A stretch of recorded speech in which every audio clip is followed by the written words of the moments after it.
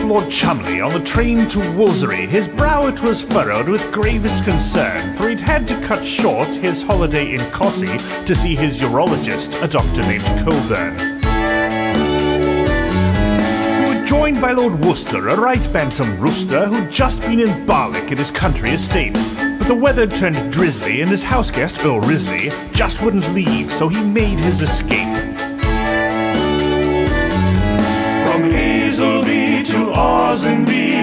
To Godmanchester to Lymm. You mustn't assume you can say what you see, or you might end up feeling quite dim. For in Oldham the locals say Upham.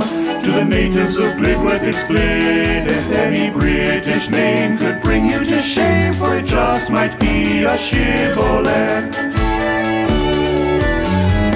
Stychel, Lord Cholmondeley took leave to withdraw to a wagon-lit carriage in hopes of some sleep. We were then joined at Ratchop by old Lady Fanshawe, as well as the grandson of Samuel Pepys. And soon Robert Mom waltzed in with aplomb as he travelled from Punel to Winbury. Lady Sarah DL, dressed all in pastel, was bound for her uncle's in Trottiscliffe.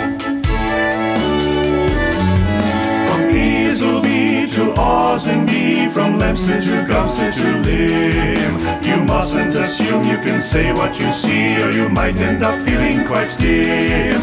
For in Oldham the locals say Upham. To the natives of Blidworth it's Blideth. Any British name could bring you to shame, for it just might be a shibboleth. Ossingby, from Leominster to Godmanchester to Lymm. You mustn't assume you can say what you see, or you might end up feeling quite dim.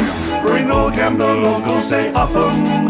To the natives of Blidworth it's Blideth. Any British name could bring you to shame, for it just might be a shibboleth.